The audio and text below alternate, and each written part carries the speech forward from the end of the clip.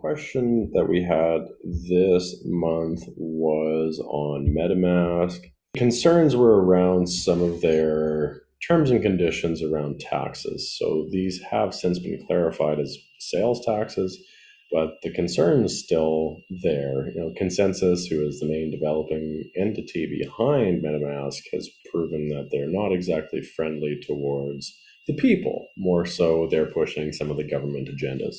So Aurox is one that we have tested uh, significantly and for quite some time. Yeah, probably close to a year since I've yeah. been testing, and then maybe two months ago I shifted from MetaMask to Aurox. Got a really good service. The wallet is much simplified. You don't have to add all these different networks and all this additional nonsense. So it's just one wallet addressed across many of the networks. You got to verify which ones, um, but that's where it just takes the takes the stress and the anxiety out of some of this, especially for newer users. So uh, premier Web3 ecosystem backed by stable, scalable, and tested infrastructure that makes DeFi easy to understand and accessible for all. So redefining Web3 experience, then we've got a fairly big say on how this wallet continues moving forward. So uh, something that's super cool is the advanced security with smart contract profiling. So it's additional information in there, uh, the transaction simulation, so you're not paying way more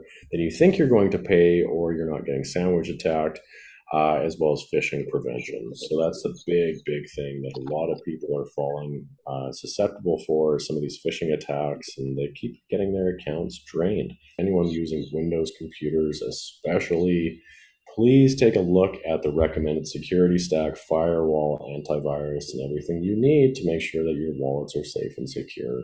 True multi-chain wallet, uh, you've got smart contract whitelisting, so it's going to let you know if it's potentially dangerous, which is really nice.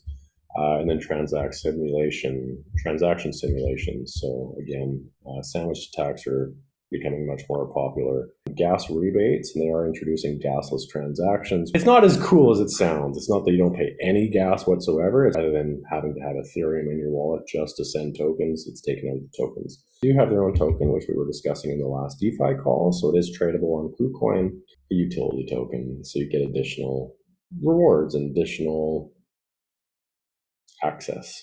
I use the extension wallet. Uh, it's also Brave browser, same uh, Google Chrome extension. Uh, no app yet.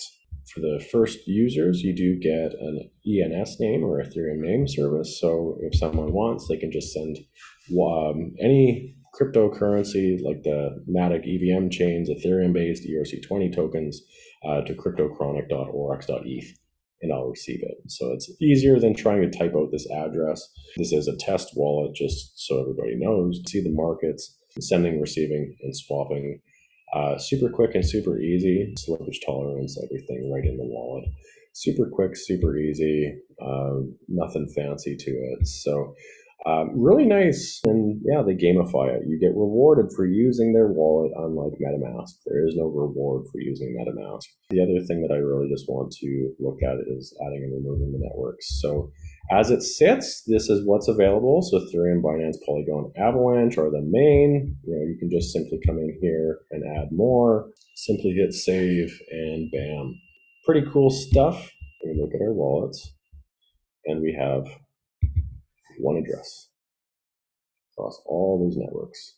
It's a little bit off-putting at first, but this is where it makes it much easier to send and receive your tokens. Your like it, it's beautiful. So um, really quick, really easy, and then just lock the wallet whenever you're said and done. This is just the beginning. There's going to be more fun things to navigate, but it's they fight us the hardest before they adopt us. And I think that's the stage we're in right now before we get into really mainstream adoption. in this next bull cycle is really going to be based around privacy, security, and Web3, people taking back control of their identity, their futures, their finances, and uh, everything else that some stems from that. So